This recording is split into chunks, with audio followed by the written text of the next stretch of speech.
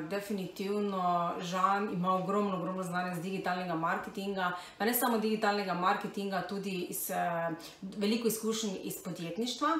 In sicer jaz ga poznam približno tri leta in moram reči, da sem se v treh letih ogromno uči, naučila od njega. Je ekspert za Amazon, se pravi prodajo na Amazonu, potem tudi eh, obvlada YouTube, tako da to so tudi eh, znanja, ki sem jih jaz od njega pridobila.